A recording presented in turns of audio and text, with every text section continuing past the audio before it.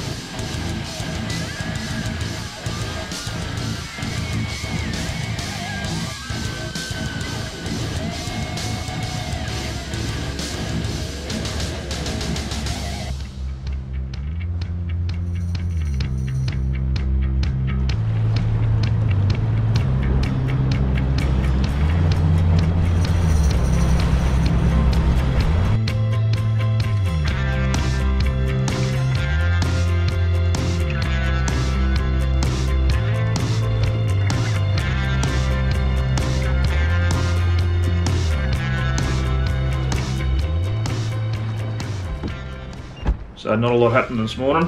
Uh, tide started to run in here, so we've sort of come over to this side here to uh, fish this bit of a back eddy behind the um, where the swimming area is on the Tuncurry side of the wall here. Um, yeah, still hoping for that one big bite for the morning.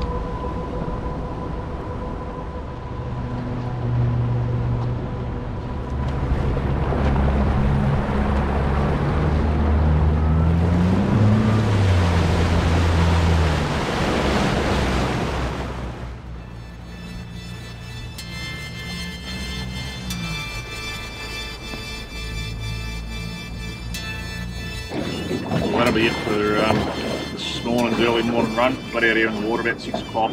Um, fished the change of the tide for the dew along the rocks there, as you've seen. Um, look, I reckon I sanded up a couple, but just couldn't get them to bite. Um, I reckon that's just, they're kind of like that. So anyway, I don't really know what I'm doing to be honest. I'm just um, just having a crack at them. I've got my big swim bait rod here that I use for cod and that. So um, yeah, and just talking to a couple of blokes then. I just had a couple of casts just then um, with a big white um, plastic for the kingies.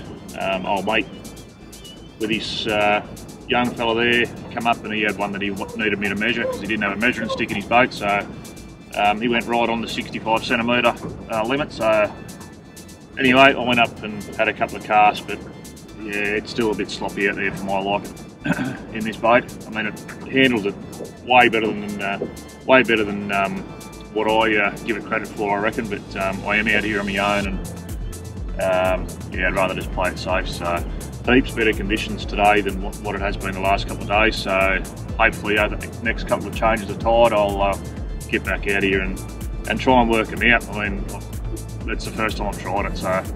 Um, I'll probably go up and uh, hit up Great Lakes Tackle again for a bit more info. Uh, he was really good when we rolled up here on uh, on Saturday and uh, set me up with a few plastics and stuff and, and sort of told me a couple of spots where they hang out in the little back eddy. So um, I might go out there now that I've actually been out in the water and had a look. I'll go over and see them and uh, yeah, try and dig a bit more info out. Well, don't have to dig it out because they're, yeah, they're pretty good about that. They're, um, they're real good actually. So anyway, we'll go in and uh, get the kids, I reckon, and get them out and get them for a fish. So, so we'll see you out there, and uh, yeah, it should be good fun. Boat full of kids, lines going everywhere. So, might grab a couple of stubbies for that one, I think.